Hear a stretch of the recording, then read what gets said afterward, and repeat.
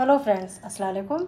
आज हम आपके लिए मसाला छाछ बनाने की रेसिपी लेकर आए पेट की गर्मी को शांत करता है और बहुत ही फ़ायदेमंद ये मसाला छाछ बनके तैयार होता है। इस तरीके से बनाइए, मेरे बताए हुए मेथड से बनाइए, आपको ये मसाला छाछ पी के मज़ा आ जाएगा। तो चलिए स्टार्ट करते हैं मसाला छाछ बनाना और देख लेते हैं कि इस मज़ेदार से प्रेजेंटेबल मसाला छाछ को हमने किस तरीके से बना के तैयार किया है।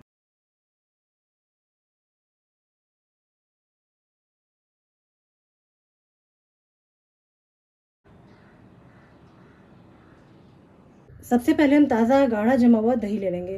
तो ये घर का ताज़ा जमा हुआ दही है। इस तरीके से दही जमाने के जो रेसिपी है, जो तरीका है, वो बहुत जल्दी आपको मेरे चैनल पर देखने के लिए मिलेगा। बहुत जल्दी इसका वीडियो हम अपलोड करेंगे।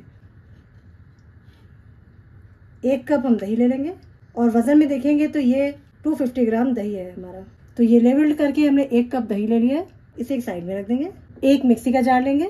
एक छोटे साइज़ का हरा मिर्चा लेंगे। तोड़ के डाल देंगे बीच में से।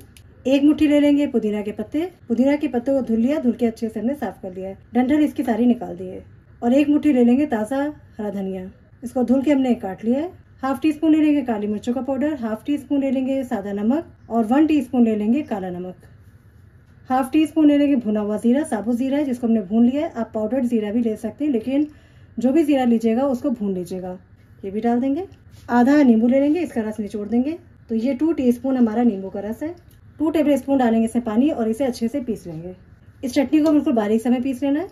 मसाला छाछ बनाने के लिए बहुत बेहतरीन से हमने चटनी पीस के तैयार कर ली और आइए अब छाछ को तैयार कर लेते हैं।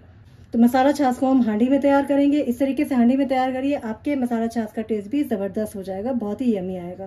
तो ये चौड़े मुँह की हमने एक हांडी ले ली और इसमें डाल देंगे अपना दही।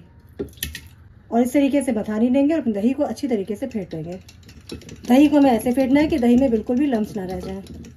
तो ये दही को हमने अच्छी तरीके से फेंट लिया। दही में देखिए, बिल्कुल भी लम्स नहीं है। और ज़रूरी नहीं कि आप मिट्टी की हांडी में छाछ तैयार करें। आप जग में तैयार कर सकते हैं, चौड़े मुँह की किसी भी बाउल में तैयार कर सकते हैं, जिस भी बर्तन में आपको तैयार करना हो, आप छाछ को अच्छे से तैयार कर सकते हैं। और अभी जो चटनी हमने तैयार करके रखी थी, डाल देंगे इसी में। और चटनी के साथ दही को एक बार फिर से फेंट लेंगे। बहुत अच्छी तरीके से हमें फेंटना है, ताकि जो भी हमने चटनी डाली है, दही में अच्छे से मिक्स हो जाए। सभी चीज़ों को अच्छी तरीके से हमने मिक्स कर लिया है दही को अच्छे से फेंट लिया है सारी चीज़ें अच्छे से वेल कम्बाइंड हो गई हैं। और अभी ये मिक्सचर हमारा बहुत गाढ़ा है और अब इससे हम छाछ तैयार करते हैं। तो जितना पतला आपको रखना हो, आप उस हिसाब से पानी डालिएगा। इसमें हम डाल रहे हैं दो गिलास पानी। ये बिल्कुल ठंडा चिल्ड पानी हमने लिया है। और पानी डालने के बाद इसे अच्छे से फिर से मिक्स कर लेंगे। इस तरीके से मसाला छाछ बना के तैयार कीजिए, आपको भी ये छाछ पी के मज़ा आ जाएगा। सारी चीज़ों को अच्छी तरीके से हमने मिक्स कर लिया। देखिए कितना ज़बरदस्त हमारा छाछ तैयार हुआ और इसको और भी ज़्यादा ठंडा कूल कूल मज़ेदार से बनाने के लिए इसमें हम ऐड करेंगे आइस तो खूब ढेर सारी इसमें हम आइस डालेंगे। एक बाउल भर के हमने ले लिया आइस क्यूब्स डाल देंगे। अच्छे से मिक्स कर लेंगे। तो ये लीजिए हमारा मज़ेदार से मसाला छाछ बन तैयार है। आइए से ग्लासेस में सर्व कर लेते हैं। तो सबसे पहले मसाला छाछ को सर्व करने के लिए ग्लासेस तैयार कर लेते हैं। एक छोटी हमने प्लेट ले ली है। वन फोर टी डालेंगे इसमें नमक। वन फोर टी डालेंगे कम तीखी वाली लाल मिर्चें। हाफ़ टी स्पून डालेंगे इसमें चीनी और इसे अच्छे से मिक्स कर लेंगे। इस तरीके से प्लेट में फैला देंगे।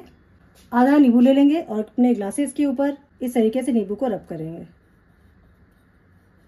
और इस मिक्सचर में ग्लासेस को इस तरीके से डिप कर देंगे।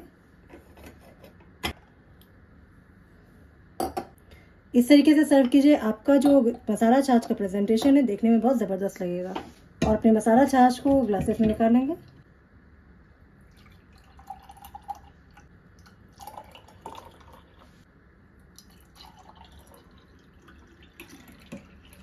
भुने हुए ज़ीरा पाउडर से छाछ को गार्निश कर लेंगे और ऊपर से लगा देंगे पुदीना की पत्ती। और ये लीजिए बहुत ही ज़बरदस्त, बहुत यमी से हमारा मसाला छाछ बन के तैयार है। आइए से सर्व कर लेते हैं। मेरा ये वीडियो देखने के लिए आपका बहुत बहुत शुक्रिया। अगर आपने अभी तक मेरे चैनल को सब्सक्राइब नहीं किया है तो प्लीज़ मेरे वीडियोस को लाइक करें शेयर करें चैनल को सब्सक्राइब करें और बेल आइकॉन को दबाएँ ताकि मेरी हर नई वीडियोस की नोटिफिकेशन सबसे पहले आपको मिले।